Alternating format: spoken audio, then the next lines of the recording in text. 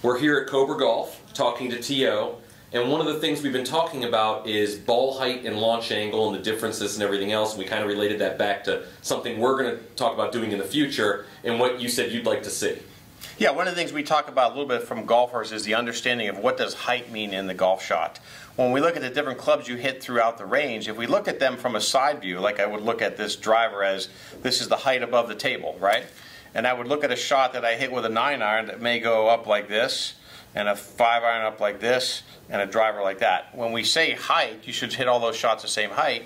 When you see a side view on a, on a launch monitor type device, you will see they all go the same height. There'll be a height feet. Typically, if you're hitting all your shots fairly well, they'll go the same height.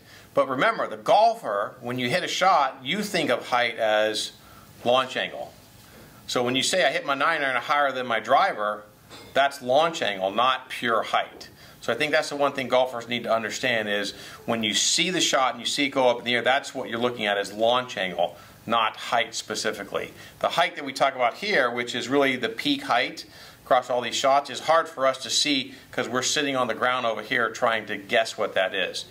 The technology can give us that view, but in reality, when we look at it, we're looking at the shot as it comes off the face, and that's the launch angle, not the pure height of the shot.